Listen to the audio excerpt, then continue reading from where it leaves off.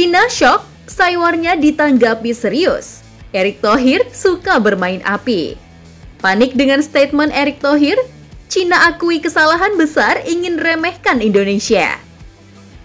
Laga besar akan terjadi di round 3 dan ini tinggal menghitung hari saja untuk kembali melihat perkembangan timnas Indonesia dalam mencoba meraih hasil positif di kualifikasi Piala Dunia. Dan semua negara terlihat sudah menyiapkan strategi mereka masing-masing guna menjegal langkah dari lawan mereka saat melakukan laga tandangnya. Namun semua peserta di grup yang bersama timnas Indonesia ternyata tak ada yang menganggap remeh Indonesia, meski posisi Indonesia sendiri sebagai negara dengan peringkat terendah. Justru mereka tahu Indonesia tim underdog di grup, karena mereka tahu saat ini timnas Indonesia sedang getol melakukan pembenahan intensif. Itu diperlihatkan dalam perhelatan Piala Asia. Meski di Piala Asia lalu kita membawa tim termuda, namun kita ternyata bisa melaju sampai babak 16 besar.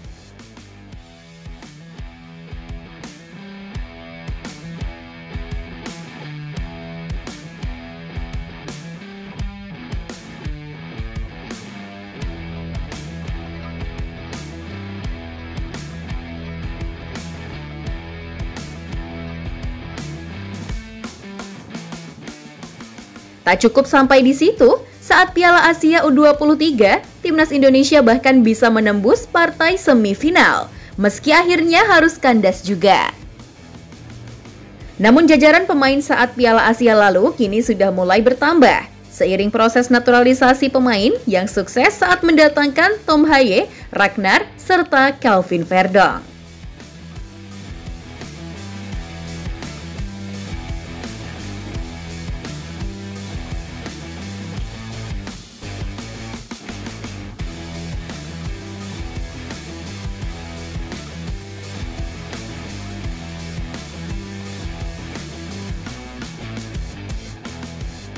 Dan di September nanti, Erick Thohir juga sudah mengisyaratkan akan ada tambahan pemain diaspora yang akan melakukan debutnya saat kontra Arab Saudi September nanti.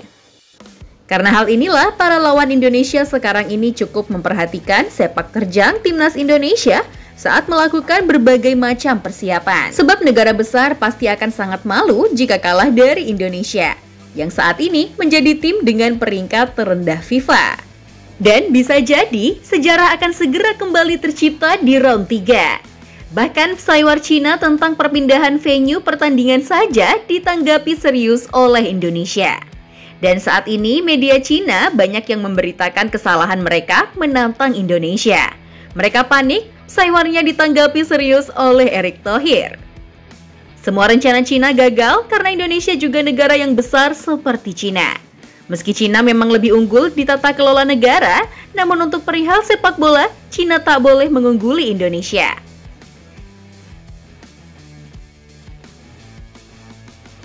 Ini cukup dilema karena apa yang akan dilakukan Cina saat menjamu Indonesia bisa menjadi bumerang sendiri setelah timnas Indonesia sudah menemukan solusi. Tulis Sohu dalam kolom beritanya. Tentu ini sebuah kemajuan bagi sepak bola kita di mana kita tahu bahwa saat ini kita tak bisa disetir lagi setelah Erick Thohir menjabat sebagai ketua PSSI yang baru. Sepak bola Indonesia sudah menemukan kemajuan yang pesat di era Erick Thohir. Dan kita saat ini menyambut era di mana timnas Indonesia akan kembali muncul sebagai macan Asia. Dan ini juga sejarah setelah lama terus bercerai-berai sejak Erick Thohir menjabat, semua elemen masyarakat saat ini bergandengan tangan untuk terus mendukung perubahan ke arah yang lebih bagus timnas Indonesia.